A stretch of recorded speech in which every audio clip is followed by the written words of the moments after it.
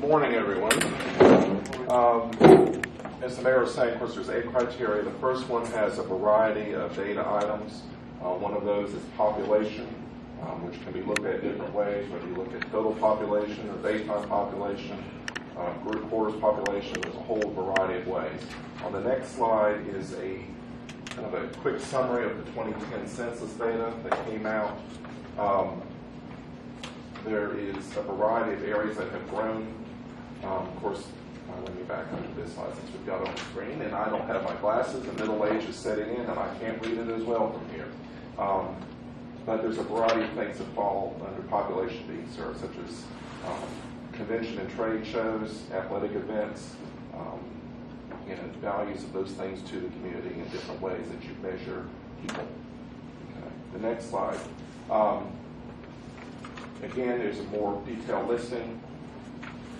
Healthcare sales, accommodation and food services, manufacturing sales, um, a whole variety of these, and we get into some more of this detail as we go further into the presentation. All right, here's the 2010 census data. Um, we as a community have grown a lot more in this past 10 years than was forecasted by the Census Bureau or by even some of the large economic firms that predict growth.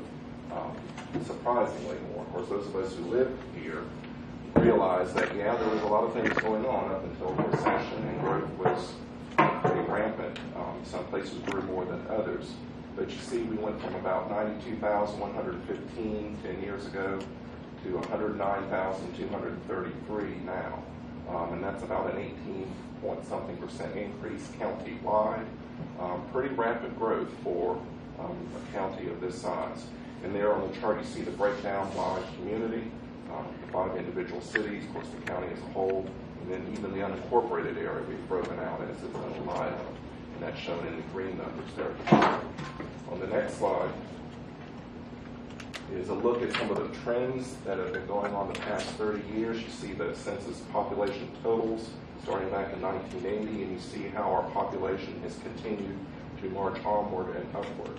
Um, and currently, under the 2010 census, it's uh, if you added the cities together, you get about 55% of the total population, about 45% total in the unincorporated area, um, and the percentage growth in the cities is up a little higher than it was 10 years ago.